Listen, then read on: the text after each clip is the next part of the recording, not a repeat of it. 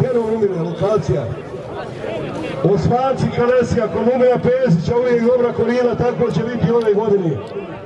Osmanci Kalesija, August 5. subota. Umire, vidimo se, hvala na pozivu.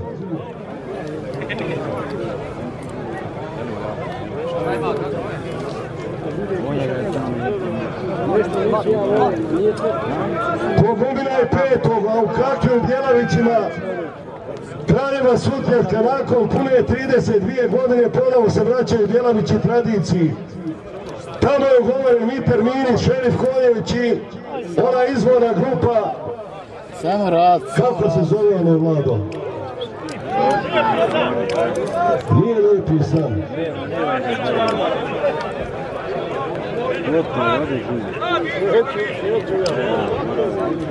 Malo se okreće. Janja i Momir.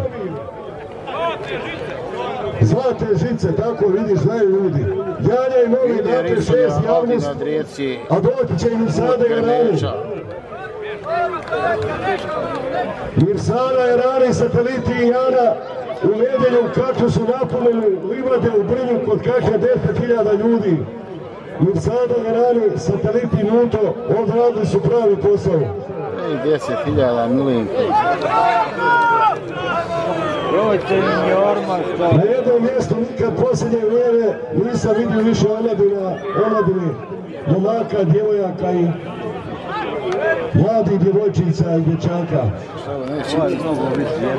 Je li ovo Čikina? Čikina.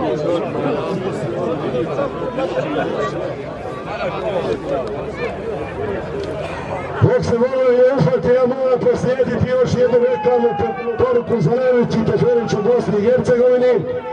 A vi ste svi čuli zato za Čeljanski platov. Na starom mjestu Novom Ruhu Čeljanović 29. i 30. juli godina ova. Tri godine smo preskočili, ponovo u Čeljanoviće doskočili. Volovi su koroni rekli zbogom, nek se bore svojim nogom 30. Jula, glavna udara borba je sastavljena. Na Pehar napada Bajra sa Garešom. Na Zlatonju Benita Brajkovića koji nosi titulu šampiona što je kategorije. Idemo borbi. Ali lagano, samo lagano izgleda da danas nisu raspoloženi za okršaje.